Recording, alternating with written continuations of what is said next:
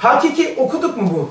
Hakiki, lez, hakiki zevk ve elemsiz lezzet, kedersiz sevinç. Bak, hakiki zevk, elemsiz lezzet, öyle bir lezzet alacağız ki gittiği zaman şey elemsiz lezzet. Yani lezzet alacağız ki lezzet aldıktan sonra bak bu gitti ya şu. Bak. Tamam ağzında lezzet e, gitti kayboldu. Öyle olmayacak işte. Öyle bir lezzet alacağız ki gidince de lezzet olacak. Hakiki lezzet bu işte. Kedersiz sevinç, hayattaki saadet yalnız imandadır ve iman hakikatleri dairesinde bulunur. İman devamlı cennet hayatını pompalıyor sana. Ben, ben örnek için söylüyorum. Sizin örneğinizde doludur. Bak secdeye bugün akşam namazı pıt pıt pıt hemen ölüyoruz.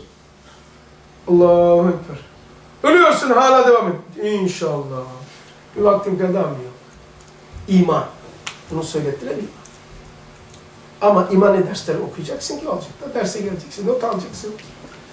Dünyevi bir lezzette çok elemler var. Bak. Öyle mi? Ha, İnsan hazır zaman.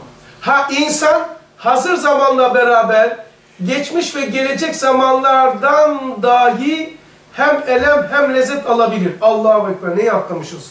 İnsan öyle bir mahluktur ki. Mesela sığırda böyle bir şey yok. Ah ulan ah. Geçen ay falan canın ahırındaydık. Ne yokluklar çektik. Ne rüzgarlar alıyorduk. Ne pislikler içindeydik der mi sığır? Bir ay önce. Lan bir ay sonra kurban var kesileceğiz lan. Ne yapacağız falan arkadaş? O küzde sığır düşünür mü?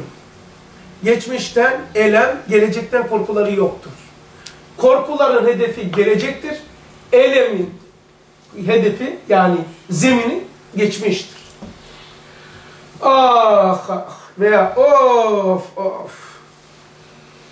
Değil mi? Ha. Of oftan vazgeçtin Fethi abi. Ah ah diyor değil mi usta? O da ne? Adam gibi yaşarsak. Geçmişine şey yaparsan baktığın zaman of of de, dememek için bugün güzel yaşamak.